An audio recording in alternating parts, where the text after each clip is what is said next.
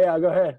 Um, have you got any tips for people that cannot get their protein intake in? I think you mentioned adding egg whites, adding egg whites to oats and Greek Yeah, yogurt. so um, I guess cannot.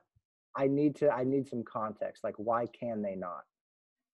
Um, I'm not sure. They're just they're they're they're struggling to. They have a history of not eating enough protein, I guess. Um, Got it. Okay. Um, how much protein do you have this person eating? Well, 140 grams, Is it a male or female? female. How how large is she? Uh, they vary from 160 pounds up to 230 pounds. Okay. Has she ever had any like stomach issues or anything? Uh, not that I know of. Any GI problems? Um, IBS, yeah. Okay, Yes. so so it may be a good idea. This is probably what I would do is I would start her off doing maybe like a combo meal shake meal shake or shake meal shake meal because what essentially would happen is that for people who aren't used to eating protein at each meal, they can get kind of bound up. You know what I mean? Because their bodies just aren't used to metabolizing it or breaking it down.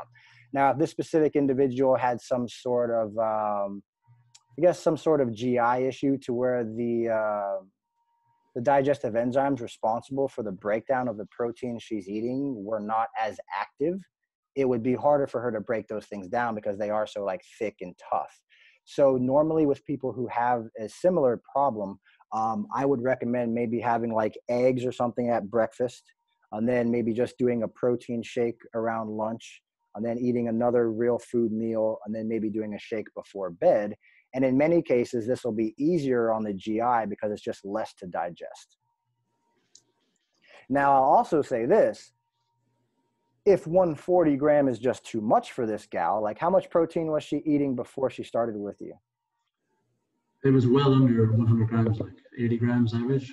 Okay, so you know, starting out relatively conservative and building up as she adapts can be helpful too.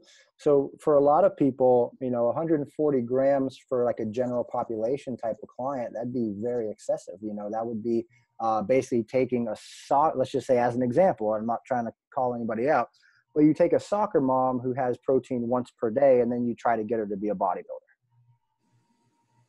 the transition between that is a lot for somebody psychologically and physiologically if they're not used to digesting that amount of protein.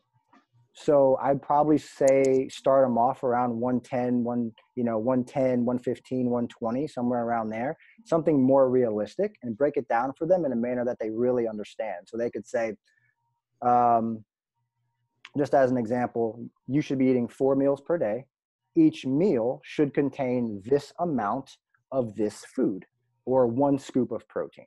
So now instead of having to eat four or five protein meals per day and cook five times, she could actually say, Oh, I just need two shakes and two meals. Easy, no problem. So it's kind of meeting them where they're at, I guess, instead of kind of meeting them where you want them to go.